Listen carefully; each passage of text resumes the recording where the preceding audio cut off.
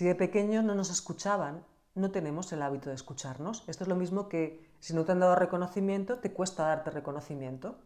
Entonces, hay que adquirir ese hábito de escucharnos, de conectar con nuestra voz interior, en vez de preguntar tanto a los demás, tú qué harías, tú qué harías, tú qué harías, ante esa pregunta que no te deja dormir.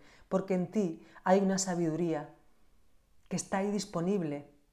Pregúntate a ti, a tu yo superior, busca esa respuesta dentro de ti, porque cuanto más confíes en tu intuición y más practiques el escucharte, más fácil te será acceder a esa voz interior que es la mejor guía que se puede tener en esta dimensión. Así que practiquemos el hábito de escucharnos y preguntarnos a nosotros mismos.